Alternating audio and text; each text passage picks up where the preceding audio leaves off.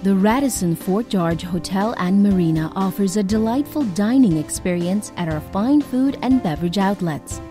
A colorful array of cultural and international cuisine is our trademark. Enjoy palate pleasing meals at either of our two restaurants, the St. George's and Stone Grill restaurants. After eating a delectable meal, you can enjoy tasty desserts at Le Petit Cafe. The irresistible smell of freshly baked pastries made right here on the premises keeps you coming back for more. The display is attractive and the variety keeps growing. Want to relax and enjoy a cool, refreshing drink? Visit the Baymen's Tavern. It combines cool tropical drinks and fresh sea breeze over a spectacular sea view for a memorable dining experience.